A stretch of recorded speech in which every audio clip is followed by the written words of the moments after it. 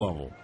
Sounds Baseball and Whitt's Barbecue, both Nashville traditions since 1978. Bouncing ball to short. To his left, Morel has it. Spinning throw to first, and he got him.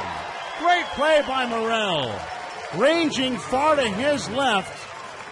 Brent gloved it and back to second, spun around, and made an off balance throw to first and got Gale. Morel was in shallow center by the time he unleashed that one hop throw.